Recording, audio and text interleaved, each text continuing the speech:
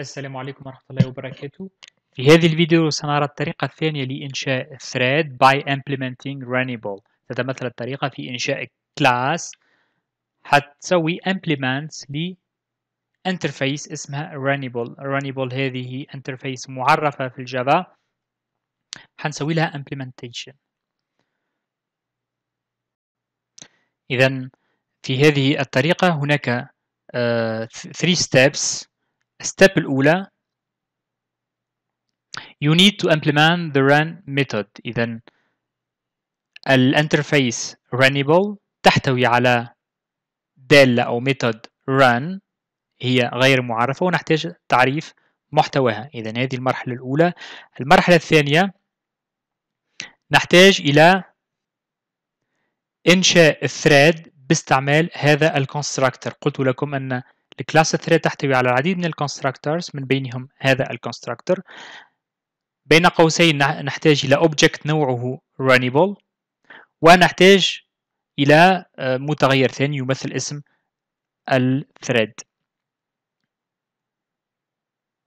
والمرحلة الأخيرة بعد إنشاء الثريد نحتاج إلى تشغيل هذا الثريد باستعمال الدالة start.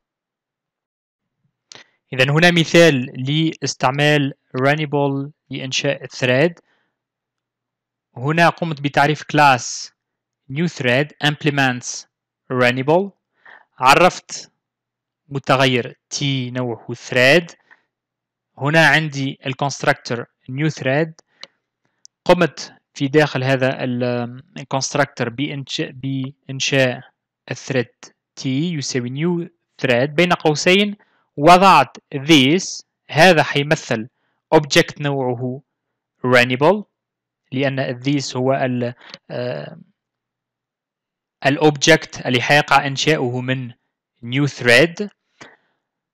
وعندي اسم ال thread demo thread. قمت بطباعة child thread. Okay أطبع معلومات ال thread ثم تسوية سويت t.start شغلت ال thread عرفت محتوى ال run method ال run method حتقوم فقط بطباعة القيم من خمسة إلى صفر أو من خمسة إلى واحد. أطبع child thread نقطتين القيمة. وأقول لل thread أن ينام نصف ثانية. إذا هذا child thread حينام نصف ثانية بعد طباعة كل قيمة من خمسة إلى واحد. طبعا استعملت ال try وال catch لأن الدالة sleep يمكن أن ترسل exception.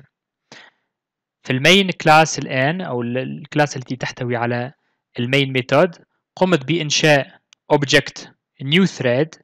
إذا الكمبيوتر حيروح إلى محتوى ال constructor اللي هو معرف هنا وحيقوم بإنشاء thread حيطبع child thread وحيقوم بتشغيل ال thread t.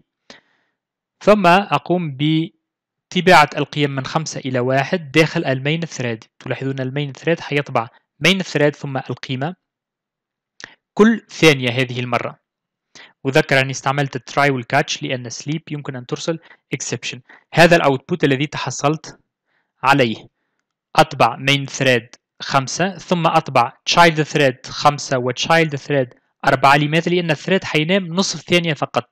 إذا عندما يكون ال main thread نائم ثانية كاملة حيستطيع ال main ال child thread أن يشتغل مرتين. يطبع قيمة خمسة ثم أربعة ثم حيستيقظ ال main thread ويطبع القيمة أربعة. سينام مجددا ثانية. في تلك الثانية أستطيع أن أشغل ال child thread مرتين وأطبع child thread ثلاثة child thread اثنين إلى غير ذلك.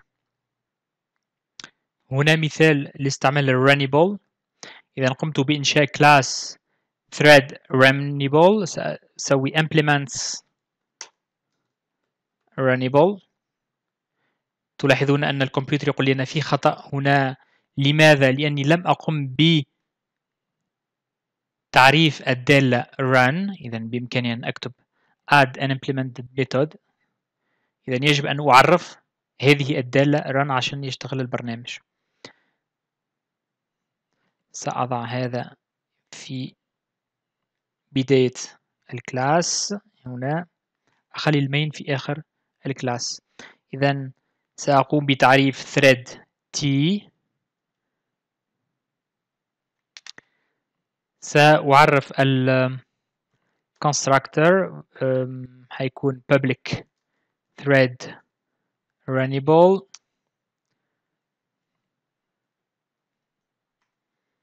هنا يمكن أن أعطي أي اسم للثread string s.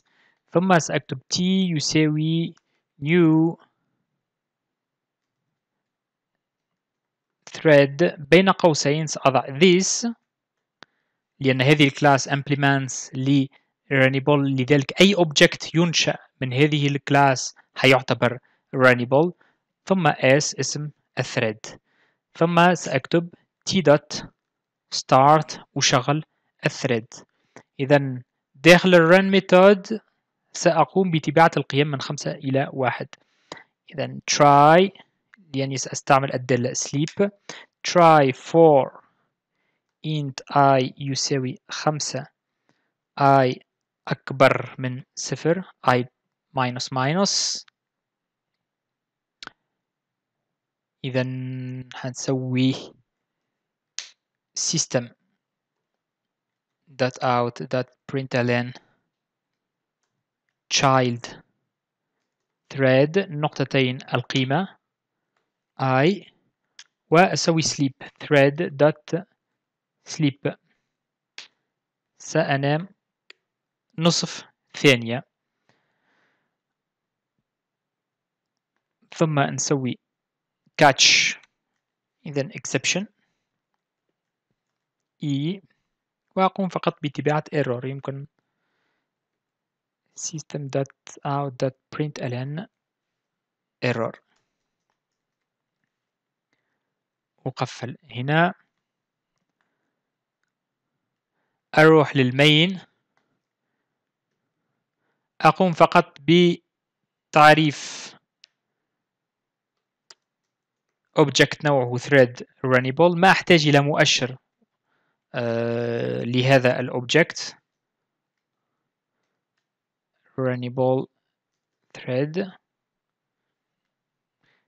على طول عندما أنشئ هذا ال object داخل ال constructor تلاحظون أنه حيشغل ال thread إذا هنا ما فيه ولا start لل thread ثم سأكتب إذا طباعة القيم من خمسة إلى صفر في ال main thread لذلك سأخذ هذا الجزء من الكود أقوم بتكراره داخل ال main فقط أغير هنا عوضا عن child سأضع سأضع main main thread القيمة وسأقول المين thread أن ينام كل ثانية. أشغل هذا البرنامج. أتحصل على main thread خمسة ثم child thread مرتين حيشتغل يطبع القيمة خمسة و أربعة أه وأيضا القيمة ثلاثة ثم حيستيقظ ال thread. ال main thread حيطبع القيمة أربعة ثم حيستيقظ ال child thread حيطبع اثنين وواحد إلى غير ذلك.